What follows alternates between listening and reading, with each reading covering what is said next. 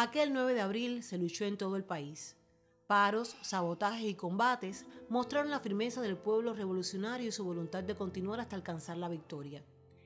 En Ciego de Ávila ese día, en el central Punta Alegre, en las carreteras de Guayacanes, Ceballos y Morón, se realizaron varias acciones, al tiempo que las llamas se propagaron por los cañaverales de las fincas Bravo, Guarri, Palenque, La Isabelita y El Triunfo, en las colonias de Jagüeyal, hoy municipio de Venezuela.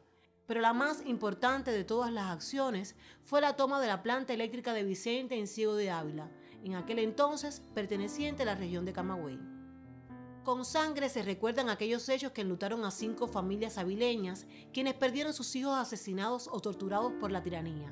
José Ascanio Pérez, Eugenio Comte Ramos, Raúl Martínez Alfonso, Esteban López Ainé y Cloroberto Echemendía. La historia relata cómo durante esa jornada en toda la isla se registraron decenas de combatientes muertos o detenidos, la represión en las calles y el falseo de los hechos por los medios de prensa.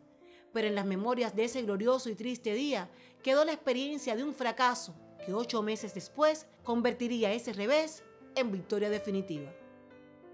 Yexabel Alderete Chacón, Portal Noticias.